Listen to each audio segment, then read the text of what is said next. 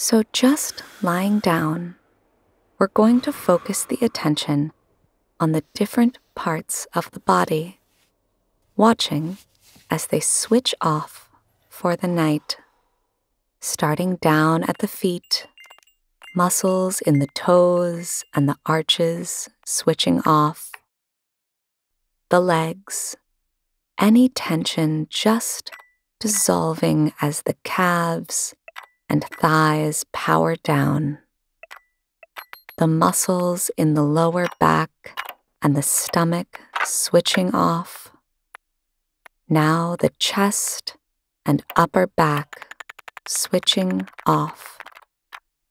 The shoulders, the arms, the hands and fingers just switching off.